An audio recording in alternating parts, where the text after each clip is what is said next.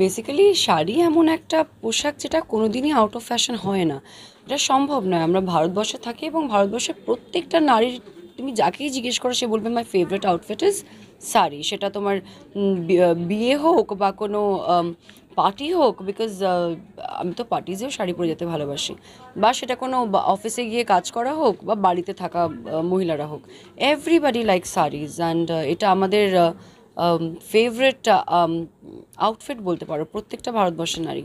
আর যেভাবে আমাদের ভারতবর্ষের নারীরা অত্যন্ত এম্পাওয়ার্ড সেটাকে আরও বেশি প্রভাবশীল করে তুলছে শাড়ির মতো একটা পোশাক।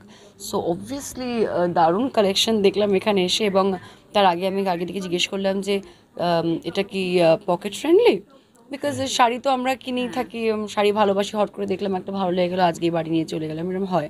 এটা কি পকেট ফ্রেন্ডলি নাকি ওভার প্রাইসড গার্গিদির হ্যাঁ বা না বলার আগে আমি চট করে প্রাইসটা দেখে নিলাম আমি দেখলাম যে না it is absolutely affordable and just because আমি ওপেনিং করতে এসেছি বলে বলব না দ্যার ভেরি প্রিটি পিসেস যেটা সামার ওয়্যার আমরা ওপেনিং করতে এসেছি বলে দারুণ বেনারসি পরে আছি।